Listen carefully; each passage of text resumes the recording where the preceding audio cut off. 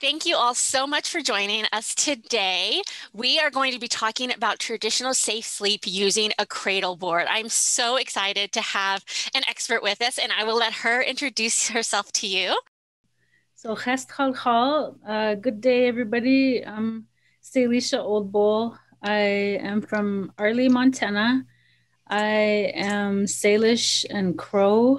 Um, I was raised with my mother, who is Salish. And so I live on the Flathead Indian Reservation. Um, in another world, I'm a student success coordinator at the University of Montana, and I take classes on the side, trying to pick up a few pieces of education here and there. And um, in terms of being an expert, um, I would say I'm a, a cultural practitioner. Um, I know some things, and I'm just uh, glad to be able to share them with you today. Thank you so much for taking time out of your schedule. I know you're a mom as well, and so that is really demanding. And so I just want to say thank you so much um, personally, as well as on behalf of Healthy Mothers, Healthy Babies, and the state of Montana DPHHS department, um, as we really appreciate you taking time out of your day to speak with us. So, with that, I'll go ahead and jump into some of the questions that we've gotten. And the first one is pretty simple What is a cradle board? So a cradle board is a piece of wood and it's adorned with an animal hide or um, modern days a lot of people will use cloth and it has a um, it has a a, a piece of it where you can um, swaddle a baby onto the board. And um, it's a only word I can think of. It's a, it's a traditional tool that um, tribal peoples use throughout Indian country, and they're they vary um, quite uh, have a large diversity in the style of these boards. But a cradle board is is a tool to help swaddle the baby. Great, thank you. So, um, how does it help keep babies safe? Because we recognize that this is a safe traditional sleep pattern, but how does it do that? How does it keep babies safe? Um, well, the way that I was taught is um, the board is um, really good for posture. Um, it's you know the babies are or bones are really fragile, so it promotes um, really good posture. Um, in some cases, it'll promote um, a straight gait. Um, when the so when the baby gets older, it won't be like feet will sticking out or sticking in like that. They'll have a straight gait. A lot of people don't use them anymore, but the ones that do it, um, because it's on a piece of wood, like this is one of um, the boards that I made, but it um, the board can prop so you would prop it like at an angle. Mm-hmm. And um, it's meant to prop so that you can walk away and and the baby will be intact um, and protected because um, uh, this part up here, this is a Salish board. And um, let's see, I need to take this part off. My husband, we had these stored because my kids are kind of old now. It's um, beautiful. Um, that is absolutely beautiful. So this part right here um, is uh, how the baby is put in there, and um, uh, most of the time they're partially swaddled before they're set in, and then they're laced into there. It's looser at the bottom here, so their feet have room to be up or whatever and um, there's room on the side. that arms would be, you know, flush mm-hmm. with their body. Mm-hmm. Would never put them like this, and um, it's it just uh, protects them. It's a swaddling. It's a it's a very secure swaddling.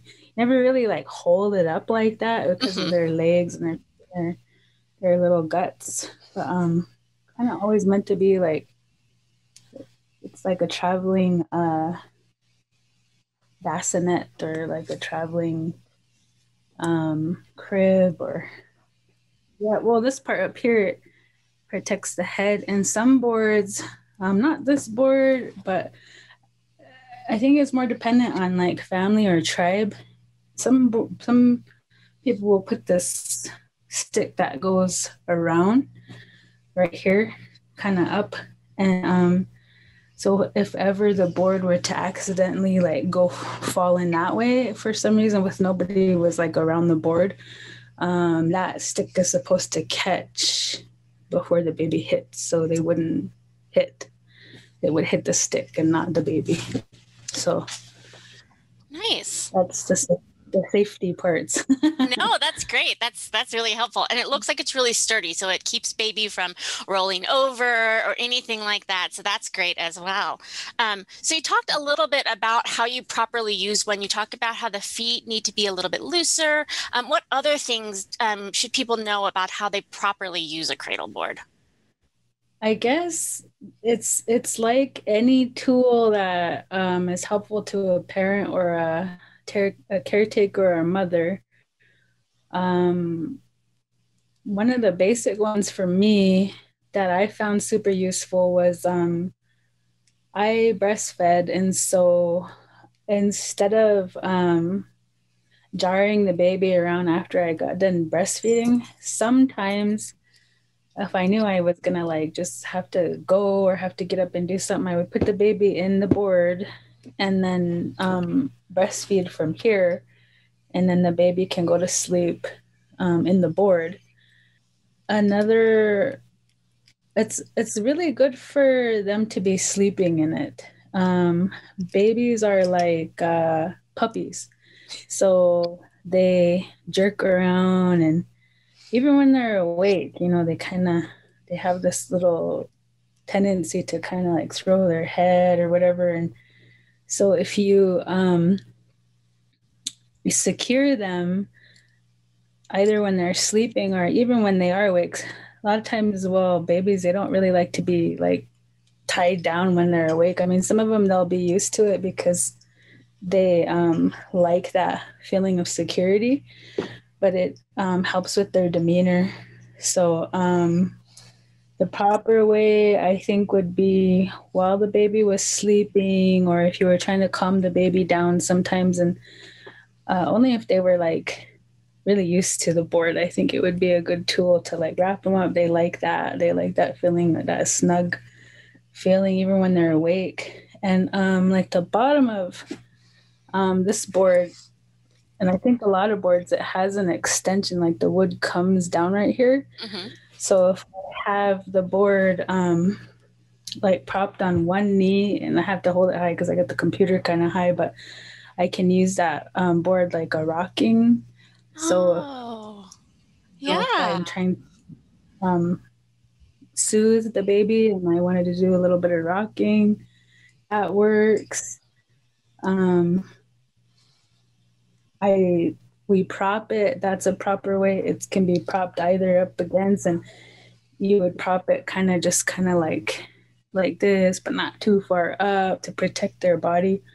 And um i don't ever really recall like laying the baby flat. I wouldn't really ever lay the baby like flat flat or like upside down. Like i would always kind of have it like any any angle like this and it usually works pretty well and um, also just being aware of um, how many layers you have around the baby because they get hot just mm-hmm. like we get hot.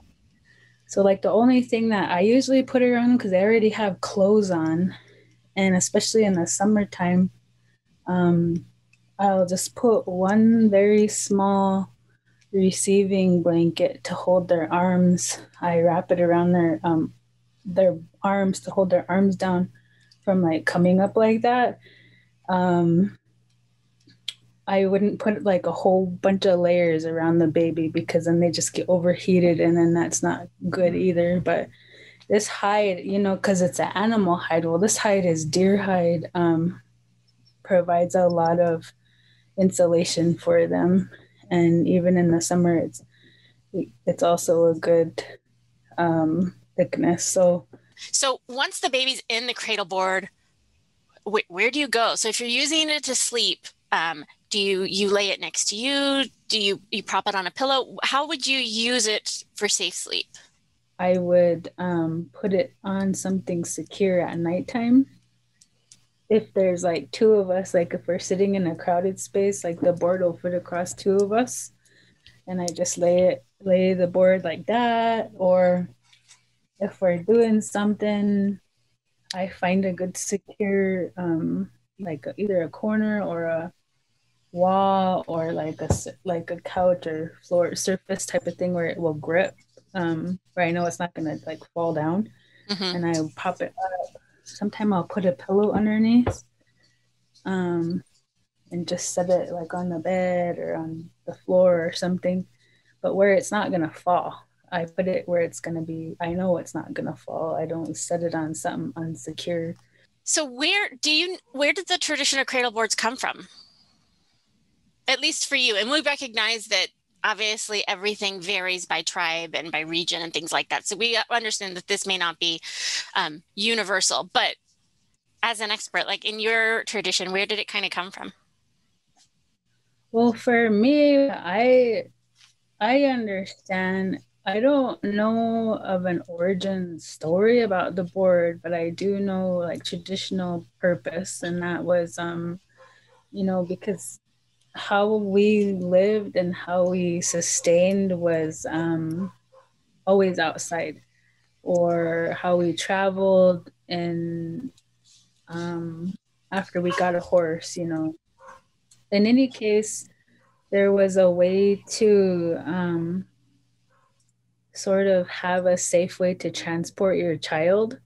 Um, people who are really skilled horse riders um, would put the baby um, sometimes on the the horn of the saddle. I was trying to think what that's called. And they would use something like this um, strap. And um, if it was walking, which walking is a pretty big transportation mode, um, that strap can be put across right here and the baby would be facing back that way.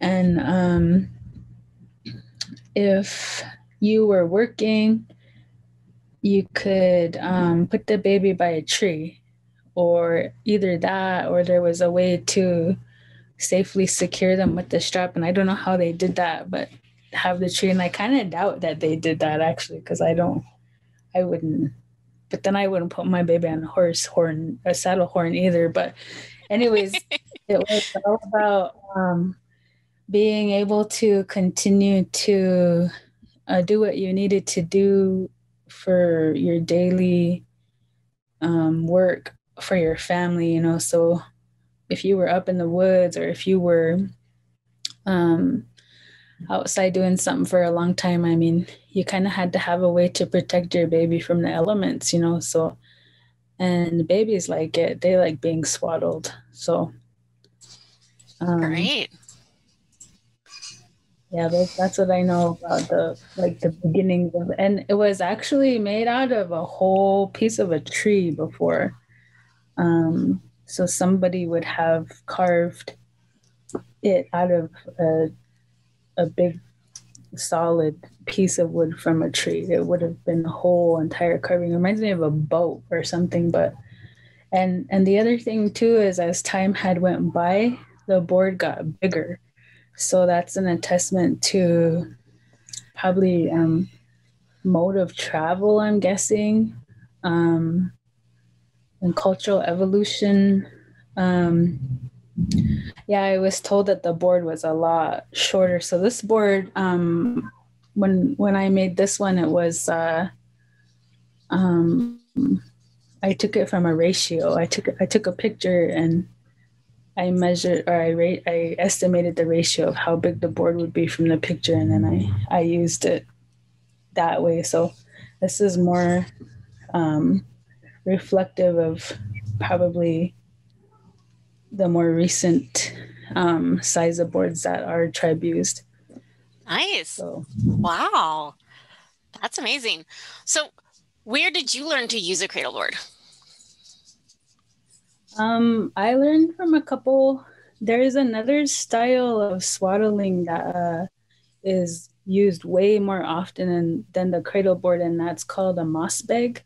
Mm-hmm. And uh, I don't know if everybody calls it a moss bag, but that's what um, Salish tribes call that bag, and it's it's like um, imagine just this laced up part mm-hmm. without the board. Oh, okay. No, the no, no headpiece. So it would just be like this laced up thing that you put up around the baby and then you wrap it up and so they're really laced in my mom and a lot of family members um, because a board is a really complicated process um, a lot a lot a lot of people all over montana all over indian country will use those moss bags mm-hmm. and that's how i learned first was um, that moss bag was something very similar to the cradle board.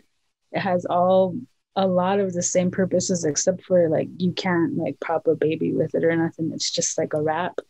Um, but the concept of it and some of the things that it's meant to promote, like um, I don't know if I had mentioned like um, the the sleeping.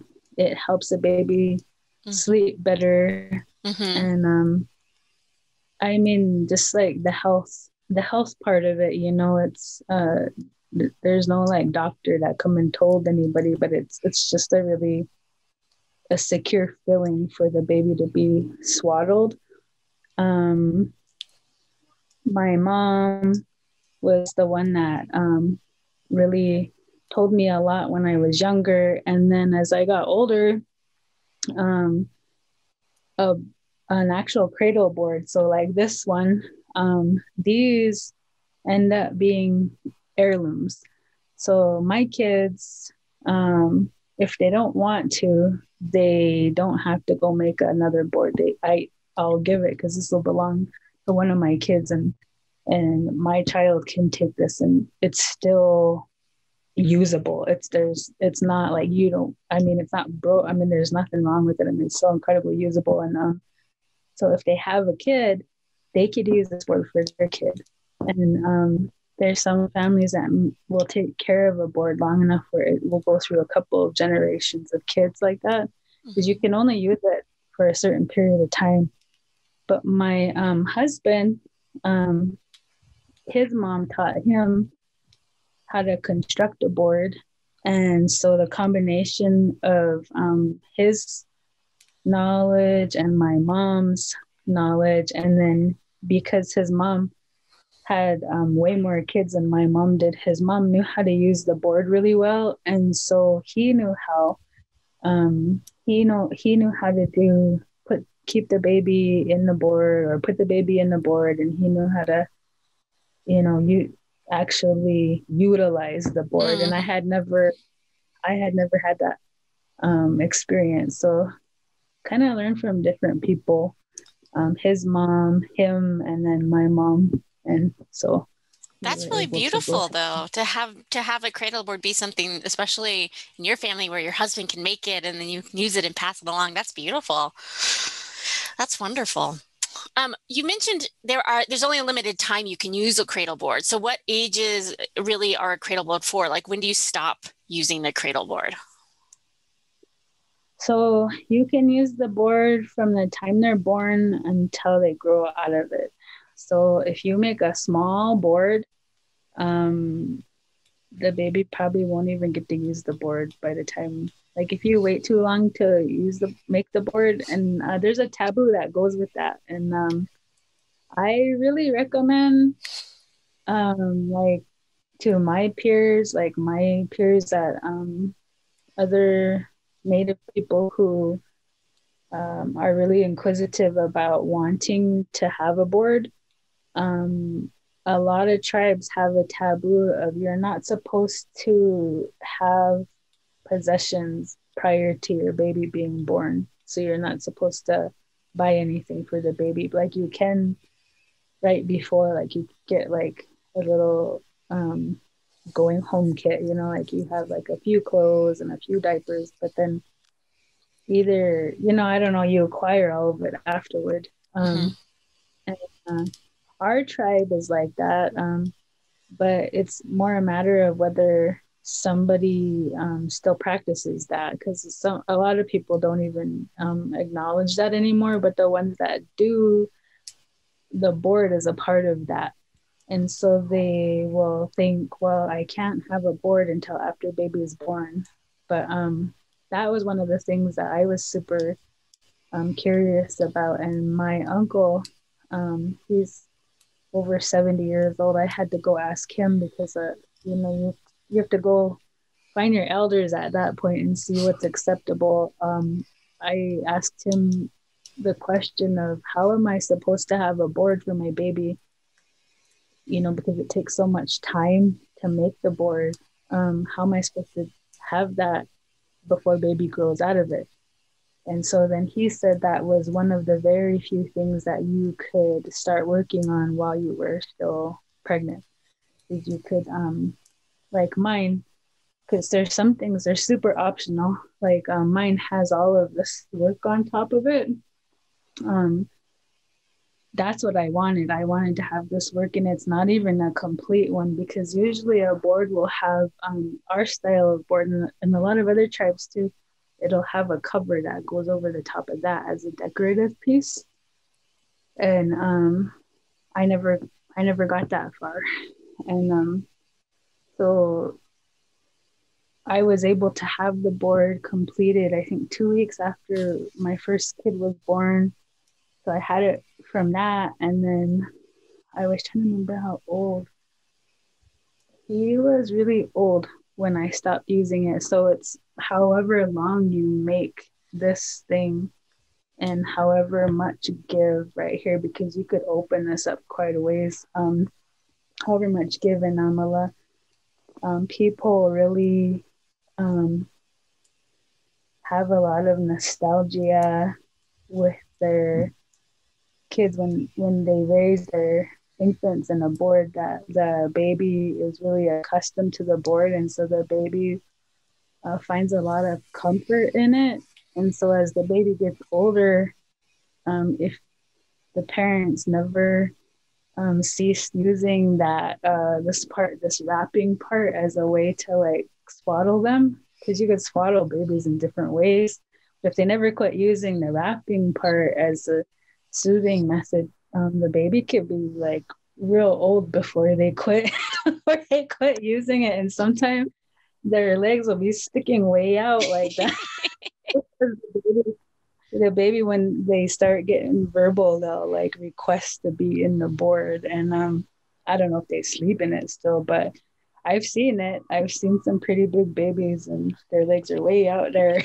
So i think it's up to the parent how long they want to they want to but um a lot of times if the parent wasn't really prepared to have that board as a part of their daily routine um they'll just use it for very temporarily and then they don't use it. It ends up being a decorative piece in their house or gets put away or whatever. So it's really up to the family and the baby and how how they choose to um, really um, include the board as a part of their baby routine. You mentioned that your board has that really decorative piece. Um, what are some things that distinguish like a cradle board from another that you could um, that might be different tribally or regionally or things like that we created the design i and my husband created this design um, we were we were looking at old photographs that um, has beadwork from our tribe and then then we were inspired and then we put those type of um, design floral designs back here. Mm-hmm. Excuse me. And we had um uh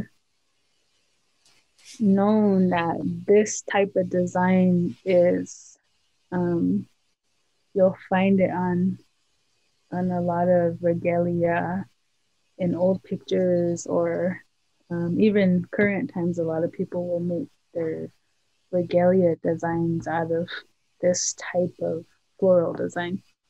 Um, and so our tribe, uh, we use this or we use um, like a real simple geometric style. Mm-hmm. And a long time ago, you used to be able to tell where somebody was from based off of the way that they design their clothes, um, the way the clothes were constructed. And so that's the other piece is the construction of the board.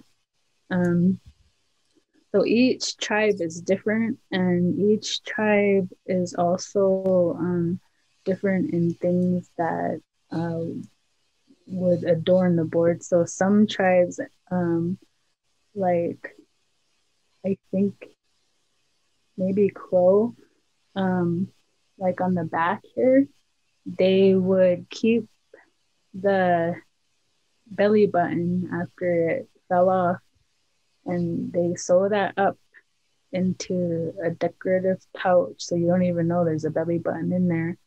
That's an extension of yourself.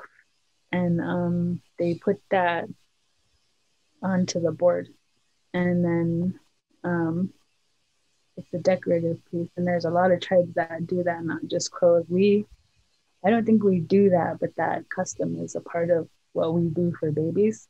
Mm-hmm. and then um, also like i said like uh, this is missing a piece that's a really decorative piece. I don't know how people would have time to i i couldn't even barely get the one part done. Um that is uh another part of what would make this from here from um salish um our cousin tribe who is a part of our um, reservation and our tribe is um the Oreille mm-hmm. and uh, they have they have quite a bit of similarities to us. So you, I don't think you'd be able to tell us apart in terms of like construction of a board. And then, like I said, some families they would put a um, a thing that goes across here, mm-hmm. and then that that serves a couple of purposes because some um, dangle stuff off like the way you would in uh, a, a mobile. Other tribes, they have other really specific, um, really specific telltale things that have to be included on a baby's board. Like, um, because there's such a huge tribe, it's it's easy to hear some of their stories. But like the Navajo, or they like to be called the Diné, mm-hmm. they have they have a way of constructing their board that if you looked at the board and if you understood the tradition of their cradle board, you would, at first glance, you would know whether that baby was a boy or a girl. You wouldn't have to ask at all because the board would tell you if the baby was a boy or a girl because of um, the way that the board is uh, constructed. So they have, and then some tribes they'll just do it different. There's so many, many, many different ways though. Right down to um, the covering.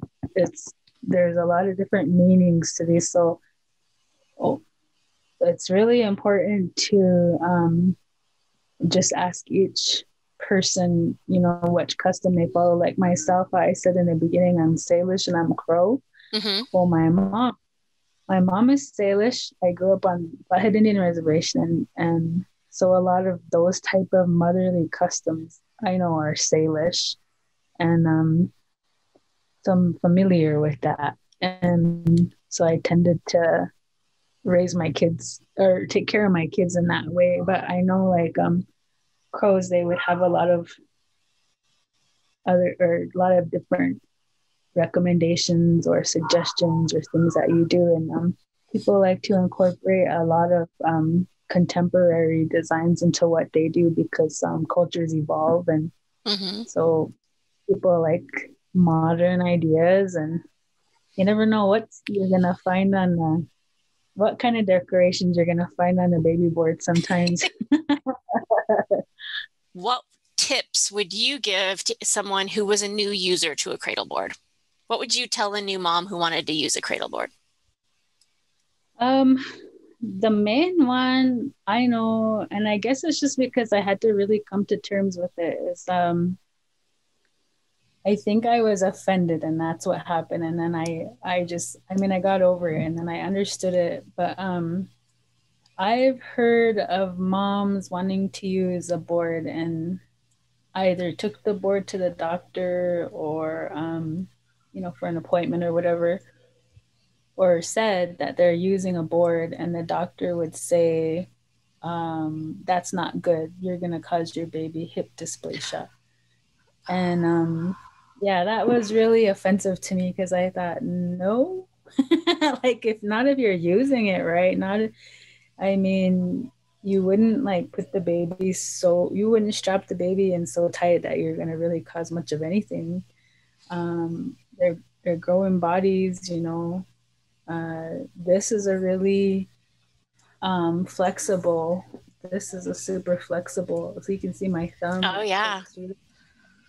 Um, it does secure them because they're laced in they're laced in there. I mean when you put them in there i have like a thing and in the back there's there used to be a padding. We took it out but um there's like a padding that you can put in there to protect them from the wood and um it protects their head and everything. But i would say for moms to um, take the baby out of the board sometimes. Like you don't have to leave the baby in there all the time. Um, I don't agree with the medical part. I mean, I know there's like a fear or whatever, but um, this is something that we've done for many, many, many, many years, you know, and so um, I really feel like um, like I had a baby that was really colicky, and it was a really good thing for me to have this board, you know, and um, I think my number one tip would be to give the baby a break from the board every now. You know, I do the other normal things like giving them tummy time or whatever, the different things that you would do for a baby. Um, but um, in terms of like their security, I mean, it's it's so so good. Uh, and then the other thing is just paying attention to my husband always used to get worried that um, we were putting too much weight on certain parts of their body. That would be my other advice is just to really pay attention to um, how the baby is propped. Um, like paying attention to like the same things that that you do as an adult. So if you can't sleep a certain way, why would you try to make your baby do that? Mm-hmm. Um, if you can yeah so really being aware of their body temperature really being aware of their um, uh, angle that they're situated. Um, those are the those are my main pieces that i think are pretty important. So then other than not judging a cradle board from an outsider's perspective what tips would you give someone who was working with a mom who wanted to use a cradle board? So um, if i was a, a, home visitor or a home nurse or um, a doctor or something like that and i was working with a mom who used a cradle board what recommendations would you provide me so that i could make sure that i never offended someone like you were offended Oh, I mean, I would just say, you know, some of the stuff I just said before about mm-hmm. um, paying to the tension, paying, that sounded funny, paying attention, being aware of the tension of the laces. Mm-hmm. Um, that's very important because you don't want to make it so tight, you know, you, you make it just enough so they're swaddled. And um, being aware of their feet, that's always a really good thing. Um, and like just re- repeating like number of layers like mm-hmm. being aware of um, the weather or the inside environment as a, as um, com- opposed or compared to how many layers you got going on here because um, they really do it like it really can get too hot and they don't like that you know and mm-hmm. i mean if you're wondering why the swaddling's not working well crepes how many clothes how many things you got going on there like you gotta gotta make sure they're not gonna get hot, you know, because they will, and then they won't want to go to sleep or be swaddled or nothing. They'll be mad at you. But, um, uh, those are the main things, and um, also, um, just knowing that. Well, like we use, um, I think this is a type of really sturdy plywood, but on the back here, um, you can see that there's a, you can see the wood back there. We usually have this padding that we put, and that's something I think is really vital to um, pay attention to because that padding um, protects their head and it protects their, you know, their body, and uh, just make being aware of that too, like um, the amount of padding that you're putting between the board and the baby and just making sure that they're protected in that way. I mean, those would be the main advices I would give. Great. Well, I don't have any other questions for you. Is there anything else that you think would be important that I didn't ask? Um, I don't think so. Geez, I don't recall ever talking this much about a board. no, yeah. it, I appreciate it so much. Healthy Mothers, Healthy Babies appreciates it so much. Uh, mm-hmm. Montana, the providers there appreciate this so much. Again, this was a direct request from people that said, hey, this is great, but I don't know anything about cradle boards. Help. And so thank you, thank you, thank you so much for spending time with me and answering the questions and really just sharing your wisdom. It's so amazing to learn about um, all of the different parts in your culture and tradition. And it's just so beautiful. And I just want to say thank you so much. I really appreciate your time.